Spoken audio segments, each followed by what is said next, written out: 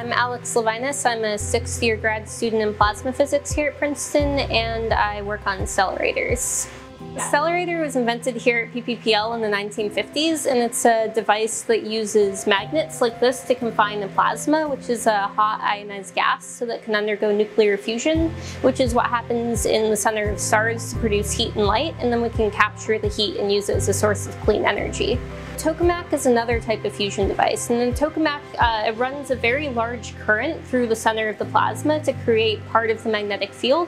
But a stellarator, the entire magnetic field is created with external magnets like these. Because you don't have to drive this really big current, a stellarator uh, has a lot easier time keeping the plasma steady and stable for a long period of time, uh, which is important if you want to have an efficient power plant.